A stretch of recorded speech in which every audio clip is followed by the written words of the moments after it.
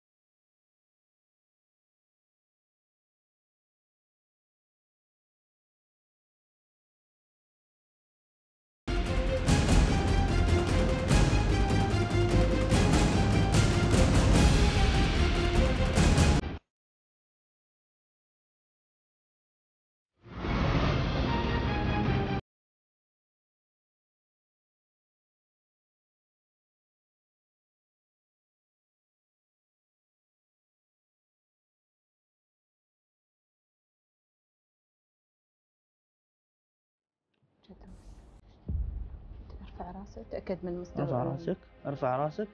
افتح مجرى التنفس. تتنفس عدل افتح مجرى التنفس.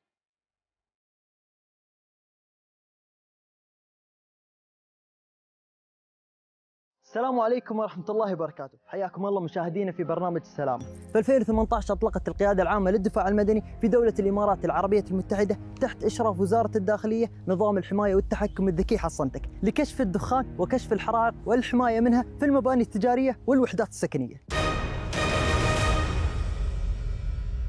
يهدف نظام حصنتك لتحقيق أهداف الأجندة الوطنية 2021 بأن تكون دولة الإمارات العربية المتحدة من أكثر الدول أمانا بالعالم بالإضافة إلى خفض معدلات الحرائق والوفيات الناتجة بالحرائق مقارنة بكل دول العالم. لذلك حلقتنا اليوم في برنامج السلامة عن الجهاز الكاشف عن الدخان والغاز وأهمية الكشف المبكر عن وجود حرائق. بنقدم لكم تجربة عملية عن تسريبات الغاز وعن الحرائق. خليكم ويانا للتعرف أكثر عن تفاصيل الحادث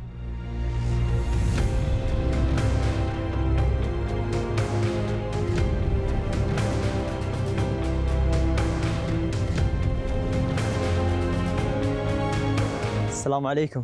شكرا رائد متعب الكتبي على حضورك اليوم مع الفريق. وعليكم السلام ورحمة الله وبركاته. وهذا طال عمرك من واجبنا طال عمرك. إحنا اليوم متواجدين في إمارة الشارقة بالتحديد في هذه المزرعة. عندنا مجموعة من التجارب عن جهاز كاشف الدخان وكاشف الغاز. وعندنا بنتكلم أكثر عن تفاصيل هذه التجربة. طال عمرك هذا موضوع مهم. في بعض الإجراءات إن شاء الله بنقوم بها نحن لكم وفي بعض ال- الوقاية والتوعية للمجتمع والجمهور إن شاء الله. إن شاء الله. توكل على الله. توكل على الله. نحن حاليا متواجدين في المطبخ. بنقوم بالعملية وبالتجربة وبنشوف تجربة تسرب الغاز من الفرن. وعندنا هذا الجهاز اللي بيكشف تركيز الغاز في المكان. رائد متعب. نعم. هذا الجهاز كيف راح يفيدنا وكيف طريقة استخدامه مع الفرن؟ أولا آه، بنفتح آه، الغاز. طلع الغاز.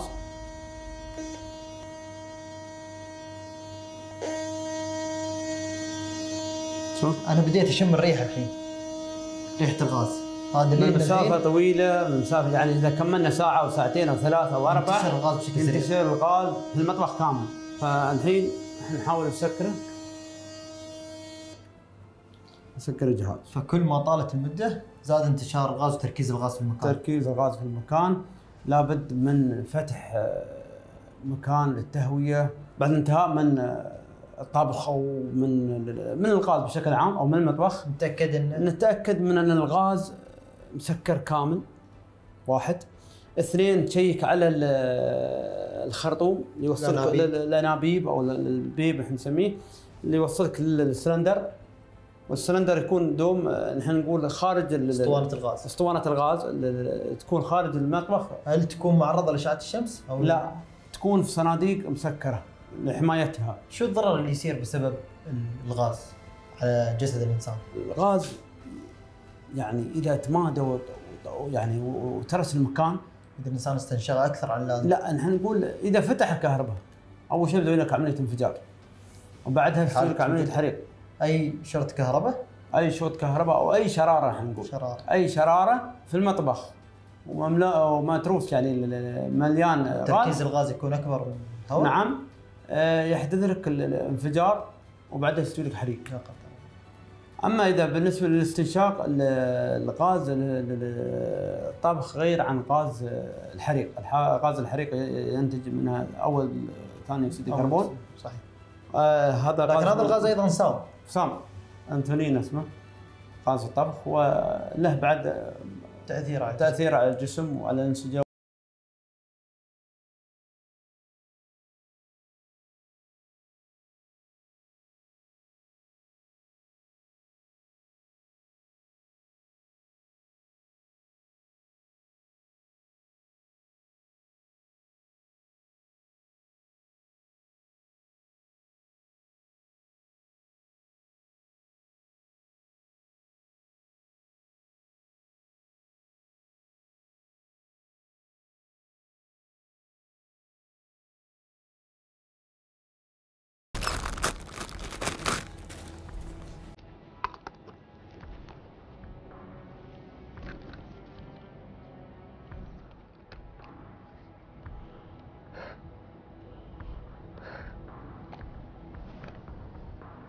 تسمعني؟ تسمعني؟ تسمعني؟ أخوي وياك مسعف أولي تسمعني؟ تتنفس عدل؟ تقدر تتنفس عدل؟ أنت بخير إن شاء الله ما فيك شيء. نحط حط- المصاب وضعية الإفاقة. فعلينا. خل إيدك هني. تتنفس عدل؟ ما عليه أنت بخير أخوي بخير.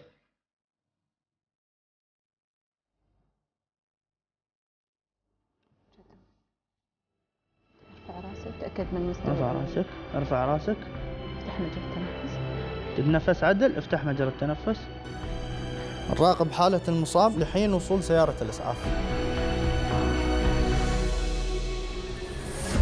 الرائد متعب. يوم يبدأ الغاز بتسرب آه، شو اللي يصير في الجو أو في المحيط الموجود في المطبخ لأنه الغاز يكون أثقل عن الأكسجين. صحيح.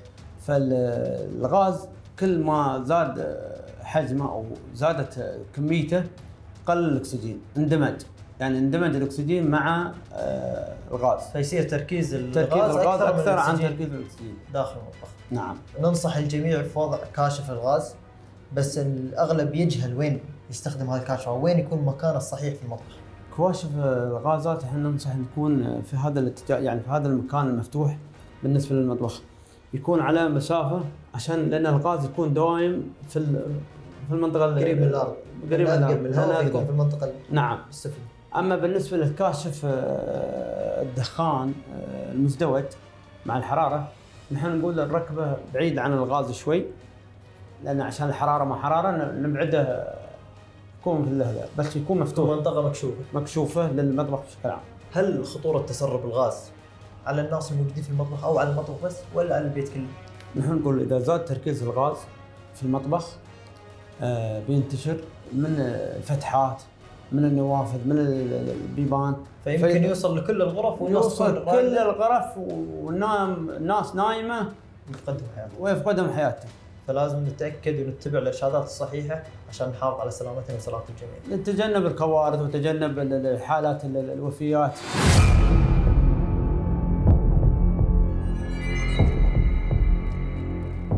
عليكم ورحمة الله وبركاته. آه، رقية إسماعيل عبد الله الشحي من إمارة راس الخيمة متطوعة في آه، مستجيب آه، أول للطوارئ من مؤسسة الإمارات برنامج ساند. نحن تم تدريبنا في برنامج ساند بحيث أن نحن نقوم بالإسعافات الأولية بإعطائنا عدة تدريبات وعدة برامج أن نحن نقوم فيها.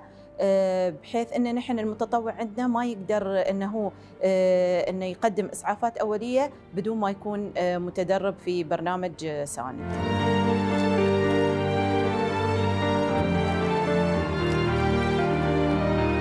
الاختناق حالة طبية طارئة تحتاج منا أن نحن نستجيب بسرعة آه، وبشكل مناسب آه، بحيث أن نحن من أهم الإسعافات الأولية أن هي أن نحن ننقذ الشخص المصاب بالاختناق لأن احتمال يكون هو هذا الشخص غير واعي أو أنه هو واعي.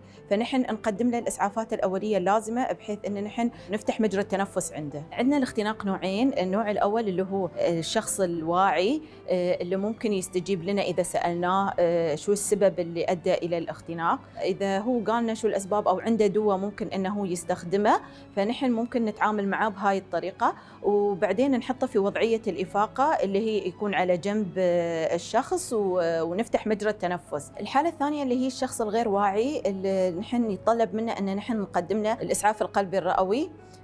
فنحن نبدأ آه، في الإسعاف القلبي الرئوي يكون نخلي آه، الشخص على ظهره ونبدأ في آه، اعطائه آه، ضغطات في الصدر آه، 30 ضغطة إلى نفسين. في هاي الحالة إن نحن نستمر آه، نضغط آه، إلين إن شاء الله آه، يفيق المصاب.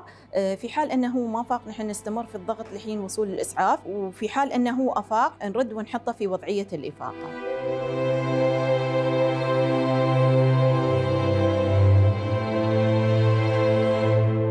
الشخص اللي هو ممكن إنه مستنشق غاز أو إنه آه، مختنق ممكن إنه آه، يكون يحس بأعراض آه، مثل الدوار، الغثيان، ازرقاق في الوجه، تنمل في في في الجسم، ممكن إنه يأشر لي يقول لي إني أنا مختنق، هذه بعض الأعراض اللي ممكن نحن نشوفها ظاهرة وواضحة. الاستجابة السريعة في حال حدوث اختناق من حريق أو دخان إن نحن نطلع من المكان إلى مكان واسع وفيه هواء آه، بحيث إن نحن نقدر نتنفس. آه، وإذا ما قدرنا أو إن في آه، سبب عائق ممكن إن نحن نطلب من أي شخص ممكن يتصل في الإسعاف ويوصل للشخص المصاب بشكل سريع. رائد متعب إذا بنتكلم الحين عن الفرق بين كواشف الغاز وكواشف الدخان. كواشف الدخان تركب في السقف في المبنى لأن الدخان عندنا يرتفع أخف من الهواء. أخف من الهواء ويرتفع فوق. بعد تركيب كواشف الدخان في أماكنها وأنواعها الصحيحة. آه، شو هي الطرق الصحيحة اللي لازم نتبعها بعد تركيبه؟ أو شيء ما نسكره أو ما نغطي كواشف الدخان بأي بأي شيء من الغطاء. نركب له حماية نفس الحلقة. هل الحماية هذه ما تأثر على الحساسات؟ لا أهم شيء ما تأثر على الشعيرة اللي في النص ونركب له نفس الحلقة عشان الصدمات. آه ثلاثة آه، نبعده عن الطلاء كيف يأثر الطلاء يعني بشكل سلبي؟ يأثر على الشعيرة. نحن أي شيء يأثر على الشعيرة نتجنبه. نجنبه بعض الناس يحطون ديكورات ويركبونها في الديكور دا- داخل عشان ما ينشاف. فهذا غلط. هذا يقلل من الأداء. يقلل حساسيه الشعيرة بالحرارة أو بالدخان. بعد تركيب كواشف الدخان كيف نتأكد من صلاحية عملها؟ نقوم آه، بتجربة هذا الجهاز بعمل بخور ونضعها قريب من الجهاز الاستشعار ونشوفه هل هو صاح؟ أعطانا ليت أعطانا اضاءه إنذار. اعطانا إنذار. وعندنا لوحة تحكم نسكره من لوحة التحكم بعد ما نجرب.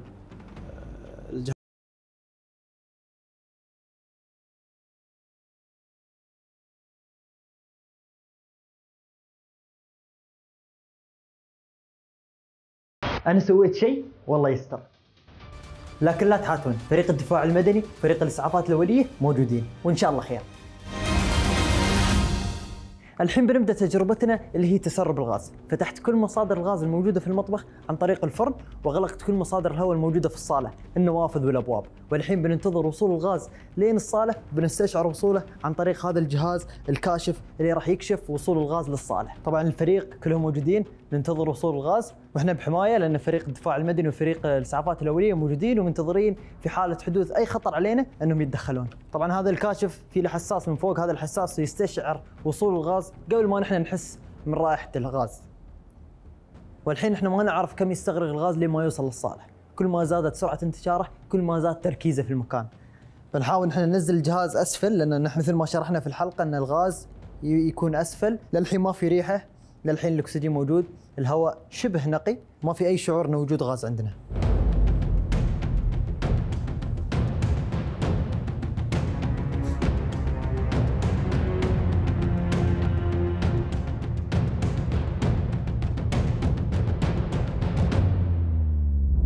للحين الجهاز أو الكاشف ما لقط أي شيء يعني وجود غازات في المكان. الجهاز أعطاني إنذار شكله لقط شيء الحساس. لكن للحين ما شم شيء. حد من الفريق يشم شيء؟ حد ي- في حد كح؟ في ريحة. في ريحة غاز شوي.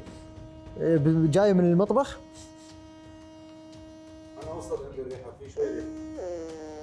الجهاز بدأ انذاره يقوى. فمخرجنا لازم نوقف. أنا حسيت شوي. خل- لازم نفتح الدرايش. حد يفتح الدرايش بس؟ نفتح شبابيك. ندخل هواء لازم خلاص خلينا نهوي شوي ونكمل. هيه. نوقف ونكمل نوقف ونكمل. بس فت... نفتح الدرايش نفتح الدرايش بس ندخل هواء ونكمل.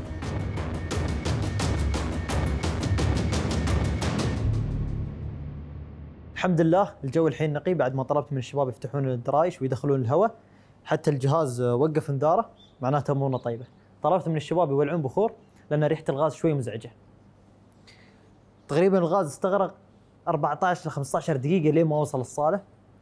وأول ما فتحنا مصادر الهواء اختفت الريحة الحمد لله. شباب. يا شباب انتبه انتبه دير بالك دير بالك دير بالك دير بالك. نادي الفريق نادي الفريق. دير بالك دير بالك دير بالك.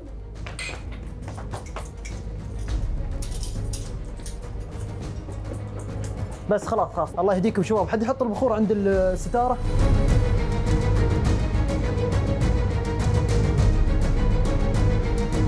اللي صار قبل شوي هذا شيء مو بخططين له صار فجأة. والشيء هذا ذكرني بشيء جدا مهم. أغلب الحرائق اللي تصير في المنازل بسبب المبخرة. هذه المبخرة التقليدية اللي نستخدم فيها الفحم ونولع فيها النار سبب رئيسي لحرائق المنازل. فيه بديل أفضل وجودته أفضل اللي هو المبخرة الإلكترونية. هذه المبخرة استخدامها جدا سهل وما تحتاج آه، لفحم ما تحتاج لأي نوع من أنواع النيران. مجرد إنك تشغلها بالكهرباء وتولع لك البخور. فنحن دائما ننصح الناس إن ينتقلون من المبخرة الاعتيادية أو التقليدية إلى المبخرة الإلكترونية عشان سلامة الجميع. وفي نقطة ثانية جدا مهمة صارت معنا قبل شوي. أجبرني الموقف إني أنا أتكلم عنها، الحريق كان جدا بسيط، فنحن تدخلنا بشكل سريع قبل تدخل فريق الدفاع المدني، والحمد لله كان جدا بسيط وعلى طول اطفى الحريق. طبعا الطفاية ما اشتغلت ويانا، آه، كانت آه، غير صالحة للعمل، فنحن ننصح الجميع دائما تأكدوا من جودة الطفايات، وتأكدوا إن تشترون الطفايات من مكان موثوق أو مكان معتمد، ويكون لنا فحص دوري للطفايات كل شهرين كل ثلاثة أشهر، عشان نتأكد من صلاحية عمل جميع الطفايات اللي في المنزل. طبعا أنا بتكلم عن أنواع ومراحل آه، الحرائق، المرحلة الأولى هي المرحلة الابتدائية يكون فيها ظهور الدخان، المرحلة الثانية اللي هي ظهور الدخان مع ظهور نيران خفيفة، المرحلة الثالثة تصاعد النيران وهذه المرحلة اللي يكشف فيها كاشف الدخان عن الحريق، المرحلة الرابعة وهي أصعب مرحلة هي انتشار الحريق بشكل كبير ولازم تدخل رجال الدفاع المدني. رائد متعب بعد تركيب كواشف الدخان وانتشارها في كل المنازل هل قلت عدد الحرائق أو قلت خطورة الحرائق؟ على السكان؟ هو يعتبر انذار مبكر لأصحاب المنزل لاستشعار بوجود خطر أو وجود حريق أو وجود دخان قبل المنزل. حدوثه قبل حدوثه يعني استشعار إحنا نقول انذار مبكر يستشعر صاحب المنزل أن بوجود خطر في المنزل فيخرج هو وعائلته إلى منطقة أمان بعيده عن الحرارة والدخان خارج المنزل لحين وصول فريق الدفاع المدني لحين وصول فريق الدفاع المدني إذا كان دخان كثير وحرارة مرتفعة في المنزل. أما إذا كان دخان بسيط يرجع لموقع الحادث أو موقع الدخان ويشوف هل هو يقدر يطفيه؟ هل يعرف هو يعني عنده خبرة أو عنده خلفية عن استخدام الطفاية؟ يعني نقول إن كواشف الدخان لها دور كبير في حماية الأرواح نعم لأن هي تعتبر مستجيب أول مستجيب أول لل... للعناصر الموجودة في المنزل تنبههم لل- للخروج ول- لمنطقة آمنة من المنزل ال- استشعار آه، وإبلاغ آه، رجال الدفاع المدني بوجود حادث في موقع آه، في بيت فلان أو موقع في منطقة أو موقع فيتحركون في أسرع وقت لمعاينة الحادث. بعد تركيب جهاز كاشف الغاز هل نركبه ونخليه ولا كل فترة نتاكد من ادائه نتاكد من عمله وشو شو الطريقة اللي لازم نسويها عشان نتأكد من سلامة الجهاز من من تركب الجهاز الكواشف الغاز والكواشف الدخان والكواشف الثانية. لابد من العمل صيانة كل ثلاث شهور. صيانة دورية كل ثلاث شهور. نعم. من شركة معتمدة من شركة توريد معتمدة بالدفاع المدني. في شركات ثانية يعني منتشرة بس ما تكون معتمدة وموثقه في ناس أو في بشر يعني تشتري لك من الأسواق ثانية. يعني يشترون لك من اسواق ثانية. هاي مش مرتبطات بال بالعمليات العمليات عندنا. على ذكر هذا الموضوع. آه، أعتقد دخلنا طريقة عمل آه، كاشف الغاز. الحين بعد ما آه، الحساس اللي في كاشف الغاز يشتغل. الإنذار. هل الإنذار يعرف أهل البيت ولا هل هو مرتبط مع الدفاع المدني؟ الجهاز طال عمرك مرتبط اولا يعرفون أهل البيت أول شيء. عن طريق الإنذار. يطلع صوت عالي. والدفاع المدني إذا كان مرتبط بالدفاع المدني بوحدة التحكم هناك عندنا في العمليات فينا أن البيت أو المنطقة الفلانية أو البيت الفلاني فيه جهاز انذار يصيح نحن نقوم بالاتصال بصاحب المنزل تأكد من سلامته؟ تأكد. إذا ما رد علينا تتوجهون؟ نتوجه له في أسرع وقت. هل إجباري كل منزل أو كل منشأة يتم تركيب جهاز كاشف الغاز أو لا؟ بناء على الأوامر والتعليمات الصادرة من المجلس التنفيذي في إمارة الشارجه إجباري على المنازل في إمارة الشارجه يركبون هذا الكاشف كاشف البيوت ال- نقول اللي إحنا الحالية والبيوت المستحدثة رائد متعب كيف نقدر ننصح جميع أفراد المجتمع بوضع كواشف دخان داخل المنازل؟ نحن كجهاز الدفاع المدني ننصح فئات جميع فئات المجتمع والموجودين في دولة الإمارات العربية المتحدة بتركيب هذا الجهاز وذلك لتقليل خسائر الأرواح أول شيء ثاني شيء الممت- الممتلكات فنرجو من المجتمع أن يتقبل نظام هذا النظام وتركيب الكواشف بشكل عام على جميع المنازل السابقة والحالية والحديثة شكرا رائد متعب على هذه المعلومات القيمة وإن شاء الله تكون لها فائده على جميع أفراد المجتمع.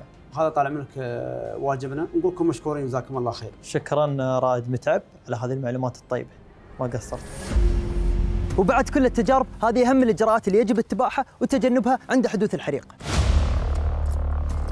افعل. إذا امتلأ المكان بالدخان حاول الخروج أنت ومن معك وأنت خافض الرأس وقريب من الأرض لأن الدخان في العادة يكون في الأعلى. لا تفعل. لا تقم بتطفئة الحريق بالملابس لأن الملابس قد تحتوي على مواد قابلة للاشتعال. افعل فورا قم بإبلاغ فريق الدفاع المدني وحدد لهم الموقع بكل هدوء. لا تفعل لا تعود إلى مكان الحريق لأخذ متعلقات شخصية لأن النيران قد تحاصرك. افعل عند حدوث حريق أخرج جميع من في الموقع واجعلهم في مكان آمن. لا تفعل عند بداية الحريق لا ترجع إلى مكان الحريق والتأكد من سببه إذا ما كان عندك وعي بالتصرفات السليمة. افعل. قم بفتح الأبواب والنوافذ لتهوية المكان وتخفيف تركيز الغاز. لا تفعل. لا تشغل مصباحا أو أدوات كهربائية لأن ذلك سوف يحدث شرارة ويؤدي إلى انفجار. افعل. بادر بإصلاح مكان تسرب الغاز واستبدل الأجزاء غير صالحة عن العمل. لا تفعل. لا تستمر في استنشاق الغاز وأخذ وقت طويل في الإصلاح وقم فورا بإبلاغ فريق الدفاع المدني. افعل. قم بإغلاق مصدر الغاز المتسرب. إلى هنا وصلنا لنهاية حلقتنا. أتمنى تكونوا استفدتوا من التجارب والمعلومات اللي طرقنا لها في حلقتنا اليوم. دمتم بخير.